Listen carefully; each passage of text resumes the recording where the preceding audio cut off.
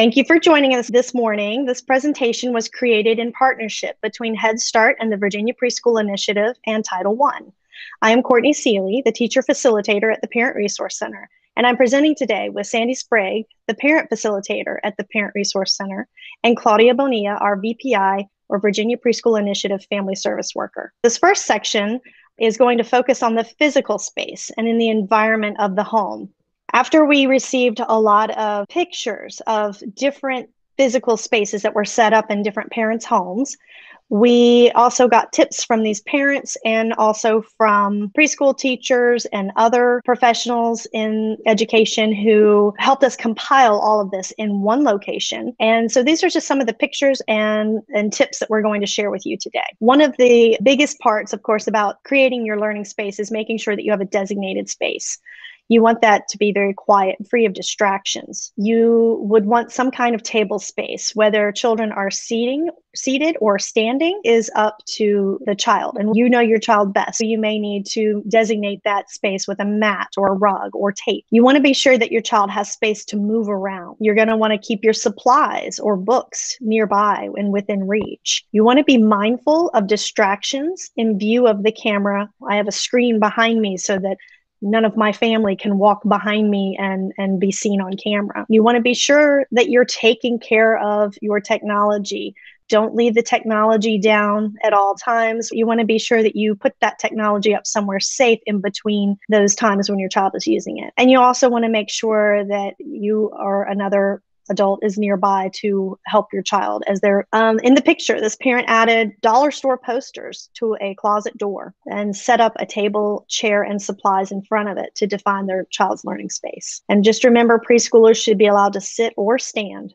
in a defined space. In the picture, the child is allowed to have that entire rug. If you have limited space, you can always use a dining room table as your learning space. Um, another parent used a small hallway leading to their utility room or their laundry room as their child's learning space. And you can see how they use that space very efficiently and kept their schedule and important things on the wall around them. So you don't always have to worry about buying a table. You can always use what you already have. When you create this space with your child in mind, you're going to be the, the one who knows if something distracts your child too much. As you can see through some of these pictures, some parents have put posters all over the wall and some chose not to. This was a parent tip that was shared with us. They really felt that for younger children, they could get easily distracted by too many things in front of them. So they kept the space simple. Somebody also said that they would try to have some kind of fidget tool or a snack to use during virtual lessons. So you really have to kind of play with what works for your child. Also, keep in mind that you need to design the space with your household in mind. So for virtual meetings, you might need to consider where your camera is facing. This child's virtual learning space is oriented so that his camera does not show what is going on in the rest of his house. His sister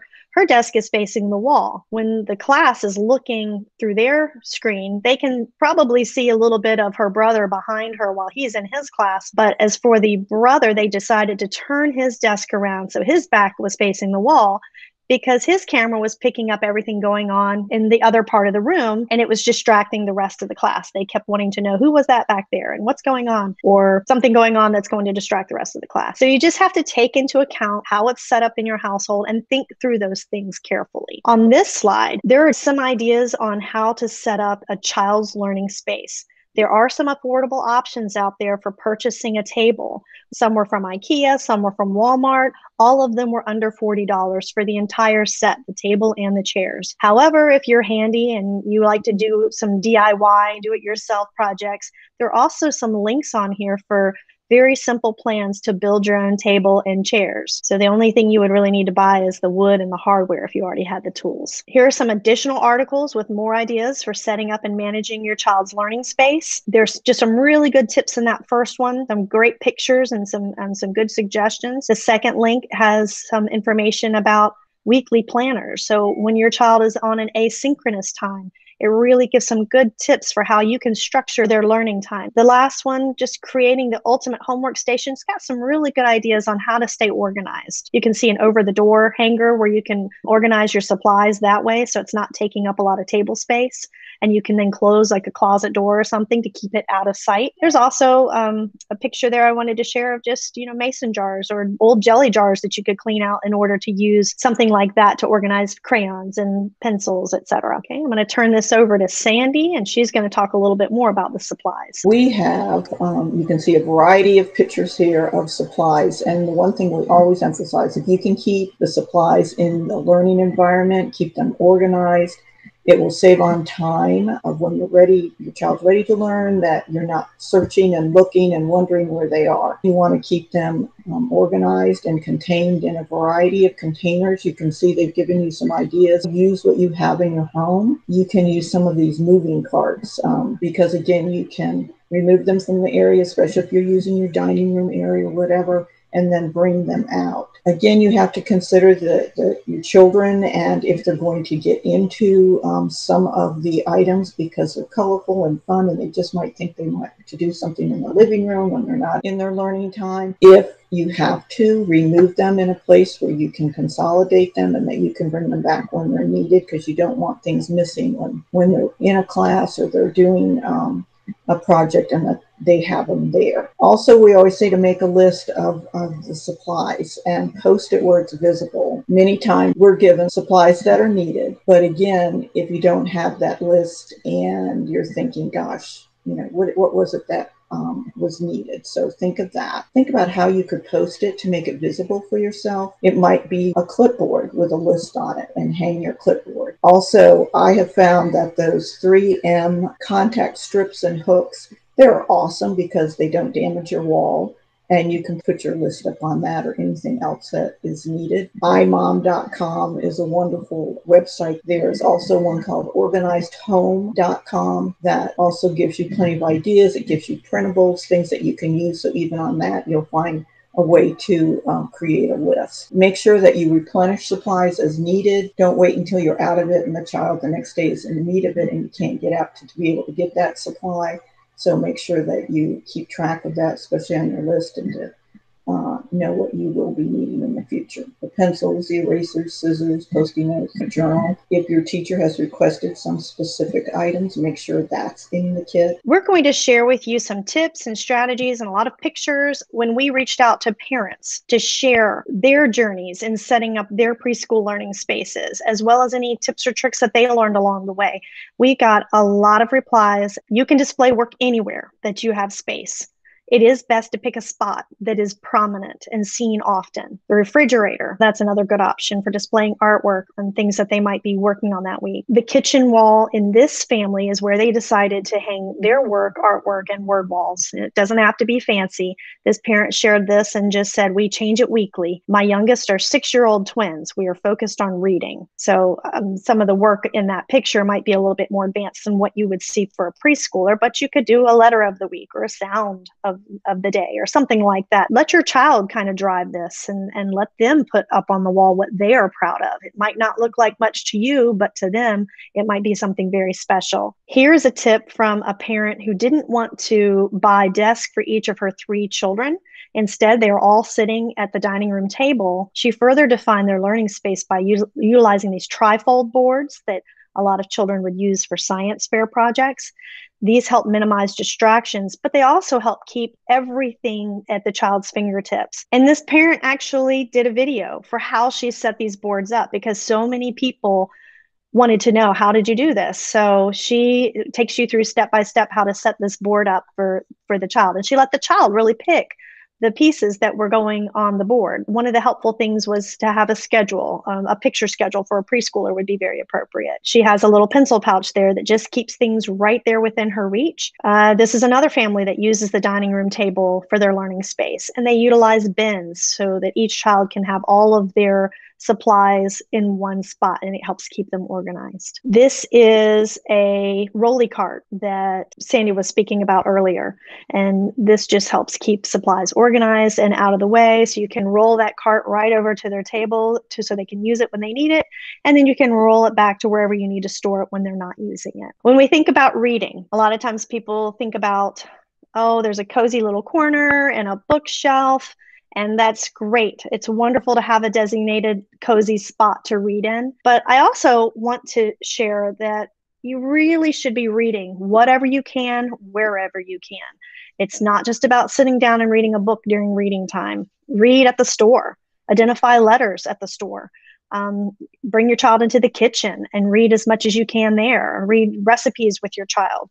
Identify letters, label items in your home. When you check the mail, see if your child can point to your name on a letter. Um, take the flyers that come in the mail and or magazines and let your child cut out pictures or find items that start with a certain letter or a certain sound. The world is your classroom, and you don't just have to have a designated corner to read in. You can read everywhere. I labeled everything, everything I could label in, in our house when my children were in preschool and learning to read.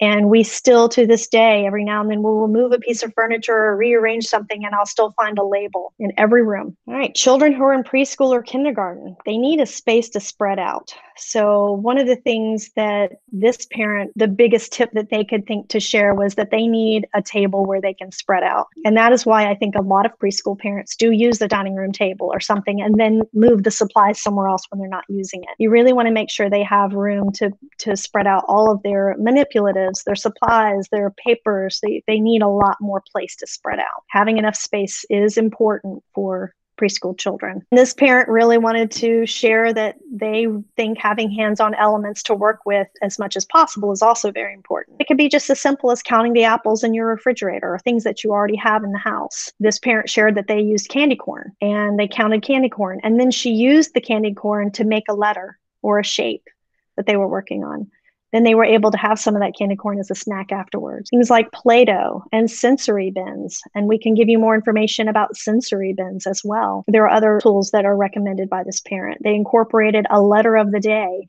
and then they took items that began with that letter and put them down in the sensory bin.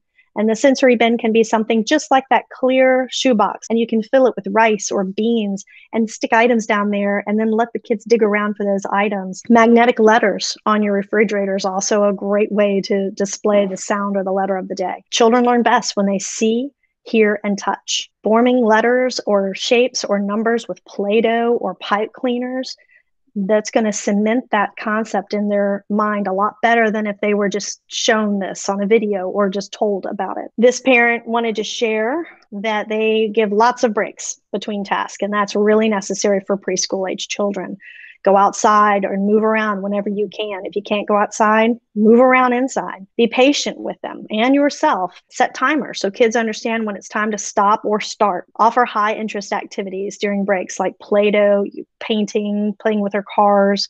Whatever it is they're into, so that they'll be highly motivated to work diligently to get back to free play activities. I do want to share with you, real quick, a online timer and the link is there so you'll be able to access this on your own it's free it's just a website timer. This um, website has a whole bunch of different types of timers, but this one in particular is very helpful for preschool age children. And when you hit start, you'll see this little red arm go around the clock and disappear. And when you put it in full screen mode, you won't see any of these ads. So here are some different types of timers. I would not suggest a timer that makes a loud sound or is ticking or something that could be very distracting. You may need a device to show your child this timer other than the one that they're working on. But there are also um, physical timer that you can set on the desk. So you just set it for whatever time you'd like, and then you'll see the, the colored part of that disappear. And it gives kids just a very clear visual of this is how much time I have left, especially for those children who don't yet know how to tell time. And that's important that they understand that concept. Oh, I think we also wanted to just mention when you use a timer, be careful. You really need to keep in mind that some children will exhibit high anxiety when using timers during a learning task. That is something you want to really watch for signs of distress when you're using a timer. Um, I often used it in between tasks so that I could let kids know this is how long you have to transition from this task to this task. I use that in my classroom a lot. We also um, use timers to let them know when they needed to start something. Um, it, your class is getting ready to start. I'm setting a timer so you'll know when it goes off that that's when you need to log in, those kind of things. And I'm going to turn oh. this back over to Sandy. All right. Thank you, Courtney. You know, as a parent, um, you are your child's first and most important teacher. And when your child enters school, you are the you and the school become partners to work together for the successful development of the education of your child. So let's talk about what is partnership. It's a relationship. It's agreeing to work together to create create a positive outcome for your child. It's equal um, it's sharing responsibility, such as in problem solving and communication. So let's talk about ways that you can be the partner with the teachers. Um, you'll see a list of things here. Again, you're going to see throughout this list how important communication, because that is the key, and that there's a variety of ways that you can communicate. So let's go through this list. We are in a new world right now, and we are all participating in Google Meets. And it's awesome to see each other, to be able to talk through um, some of the situations you might have, to get to know what your child is doing, what is the teacher doing, how can you be that partner with the teacher. Again, um, in setting up a Google Meet or any of, again, attending teacher conferences, make sure that um, if you can't make the appointed time, that you contact ahead to reschedule. Just don't show up. Um, so please be considerate of everybody's time. Again, you're going to decide what is the best way to communicate. We talk about keep communication lines open. Is it going to be through email? Is it going to be through Class Dojo? And again, this was new to me, and I had to ask Claudia, what is that? And again, it's just another tool that um, the teachers and families are using to share what's being learned in the classroom. So it could be through photos, it could be through videos, it might be through messaging. Um, another way to communicate is just simply using our phone. Um, we're doing that a lot too. So there is a variety of ways that you can communicate. Okay. Um, show results of activities provided by teachers. Again, what is benefiting your child. You are the constant person in such a variety of um, environments for your child. You know what's best. Give the teachers input. Um, what are your ideas? What are your concerns? Um, as they're doing activities and what are they doing at home, you can show them dur- dur- uh, during the Google Meet um, how you might have thought it might have worked better with your child or you might know that your child works better with manipulatives, might work better with some of the things you have at home. And so, again, your input is so important. Um, the other thing is when you're giving feedback to the teachers, just make sure that um, you're doing it in a positive manner. Be respectful of each other. Let them know they're doing such a great job um, there's been a lot of differences going on, not only within our family, but also with the teachers and with the staff within the school. So make sure you're you're that positive partner um, in working with your teacher. And again, you're going to be um, getting a packet from us. And within that packet, there is going to be a lot of different things um, that are going to give you more tips on how to be a partner with your teacher. Okay we're going to talk a little bit about community resources and how much is out there. And we really encourage you to look into some of the resources that we're going to share with you now. So we have a great regional library system in this area. Um, definitely want to encourage you to utilize um, the libraries that are out there. There's several locations. Um, I know in our family we've used Salem Library. We've gone down to Fredericksburg um, and used the main library. Um, of course, I live out in the courthouse area and I use SNOW also. Again, with what's going on with COVID, we want to make sure that we uh, know what the services are that they are offering. They do have sat- satellite branches at times within community centers. Um, they also have um, a vehicle that would go out at times. Again, that has changed. So um, when that gets back on the road again, that's just an awesome way to um, be able to get books and access some of their programs. But the one thing that um, I've always found that they are so good at is having a lot of programs that a variety of ages. Um, I know one of the ones that uh, we accessed was the Paws for Reading, where the children can read to a dog. And that's such an, a wonderful way to get children to love to read. But again, look at uh, that they have print and audio and video materials. So any way that you want to access books and reading, again, they have online databases. You can reserve a, com- a computer. You can check things out. I think that the great thing about it, no matter what branch you're at um, or nearby, again, you can return it to any branch. Um, I found that some of the branches might have um, a book or video that I would want. They will send it to that and make it accessible to me. You can check out videos for a week, and there's other items for two weeks.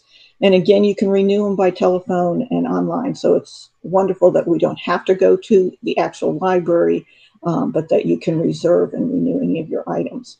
One of the things that we do encourage is that you get a library card. If you don't have one, um, you can get a library card. You can actually go online and get your card. And so that makes it accessible to all the services that um, the library does have uh, to be able to use. Um, I have a dear friend who, um, again, some of the programs they have that if you're losing your eyesight or your hearing or whatever, they can access things through organizations to help out even that. So we just hope that you take the time to get your library card and use it with your family. Okay, we're going to talk about something that my children did not grow up with. And again, it's those virtual field trips. Um, COVID has shut down a lot of the places that we would love to go in person. Um, but again, teachers and parents can access the virtual field trips.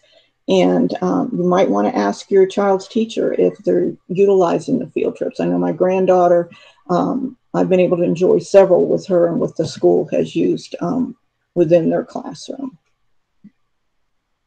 Okay, there is a variety of field trips. You'll see that we have, we're going to be giving you um, access to several online um, links that you can be able to click on and to just go places you might not have been able to get to. Um, you'll see that again, this is um, Virginia field trip, and they have places like Jamestown. If you haven't been to Mount Vernon, you can visit Mount Vernon, the Science Museum, and even uh, some of the national parks. Again, the zoo, Luray Caverns. So it just it's a wonderful way to get to see these places if you've never been there. Uh, PBS has a wonderful site. Um, I actually went on it last night and was enjoying some of the things. Again, you can go on and get those things such as uh, the fire station, um, went to the dentist's office, the children's museum. They're really short clips. They're like eight minutes, six minutes, or some that are three minutes. Um, the sheriff's department. They also give you um, the fire station. Like you can see the fire station lesson plan. Um, there's a lot of things for the teachers to use. There's activities for the kids to do. So it's um, it's just an amazing thing to do. It's something very different um, and for the children to really see live what goes on in these areas. And it is done very well.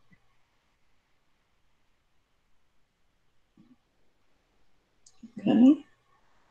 We also um, have enjoyed this um, this link, but also that Fred Parent has got a lot of information for families. It is we have enjoyed having their magazine. Actually, we would have it uh, within our center, but many times when families have called in and have needed um, information, it's just been a wealth of information. We, I can't tell you enough how good this is. So you can go online um, and enjoy their site, and you'll see that they have a lot of um, guides, and it might if you need childcare, and they will. They also have those types um, of guides.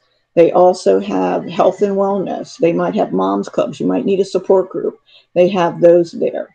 Um, again, it's free. Um, there's a free digital magazine that's online, but also a lot of places like your doctor's offices, the libraries, some of your schools actually have the hard copy. So another site, again, very similar to Fred Parent is Macaroni Kids. So if there's anything going on within uh, our area when it comes to family fun, there's a lot of good um, articles in there as for a parent. Um, and again, they have the guides also. So we have some two wonderful um, links that you can go to again. And we also have some additional online resources we have utilized these resources also, um, Reading Rockets and um, Colorín Colorado. You want to go to the next. So these, again, these are links that you'll be able to um, link to because we'll be sending you this presentation. The great thing about Reading Rockets and Colorín Colorado is that they're bilingual. Um, reading Rockets provides some uh, building blocks for reading and writing. They also give you reading tips connecting with your child's school. There's games and activities. Colorín Colorado also provides tips on helping uh, your child learn to read, succeed in school. There's learning games, um, how to build a relationship again with your child's teacher and the staff, and just a lot more so that you can click on the links and it will show you the English and Spanish versions um, from Reading Rockets and Colorín Colorado. And then again, there's um, we call them super duper publications, but there's an area in that within that is called Handy Handouts. And Handy Handouts is an online educational um, site that has a variety of educational topics such as school success, um, encouraging good behavior, special needs, disability information. And what you would do is you search by a keyword just to find the information, and you will see that it's in English and it's in Spanish you would just click on the picture or the link to show um, how to access all the, you know, the handouts. And um, the amazing thing that we really like, again, that this is bilingual. And then we have Scholastic. Scholastic, again, is another uh, link that they offer book lists and they will tell you the appropriate ages um, for the different books. They have articles, again, on school success, getting ready for kindergarten, um, activities for kids. They have a lot of printables. They're teaching kids phonics at home. They also offer book clubs, which um, is offered through your teacher involvement. Again, uh, there's a Scholastic book club as well as Club Leo flyer link. So a lot of information there to support your learning at home. Thank you, Sandy. In this section, we'd like to share a little bit more information about the Parent Resource Center and invite you to utilize this as much as possible. We are the Parent Resource Center. You can see a picture of Sarah, Sandy, and myself there.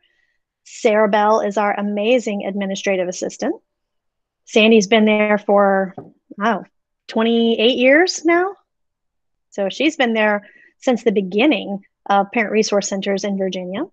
And this is my second year. Very happy about this center. So excited about all the resources that I'm about to share with you. The parent resource um, staff consists of myself. I have 20 years of experience in special education and regular education and a parent, Sandy, was the mom of three sons with disabilities, who has been working at the Parent Resource Center for over 27 years. Her children also went through Spotsylvania County schools. We work as a team to model the partnership of parents and schools working together. All of our resources are provided for free.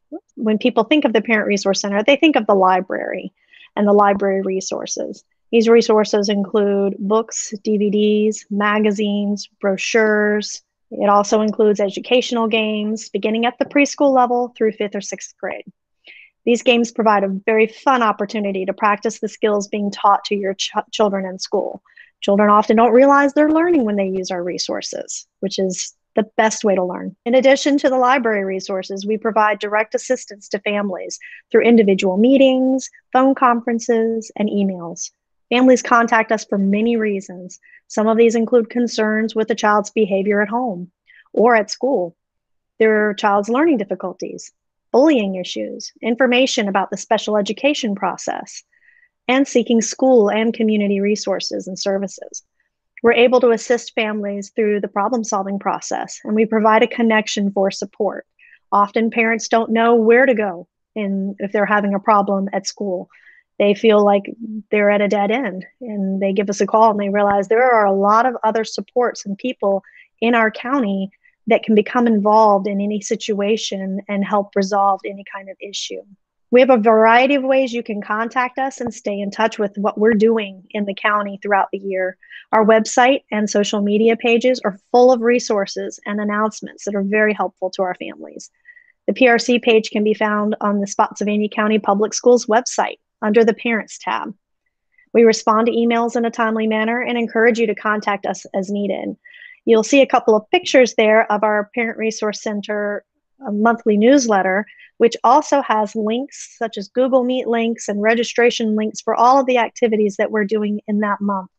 You get that at the beginning of each month directly from the county. So when you see an email from us, don't forget to click on the attachment because that's our newsletter. Again, we'd like to thank you for joining us today. Um, the Parent Resource Center and the offices of Head Start and the Virginia Preschool Initiative are located in the Center for Family and Preschool Services building in the Spotsy Courthouse area. Feel free to contact us if you have any questions, concerns, or requests, and we'll be happy to assist you.